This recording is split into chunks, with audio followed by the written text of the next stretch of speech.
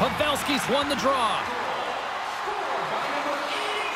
Toronto's got it along the wall. Pass back to the point.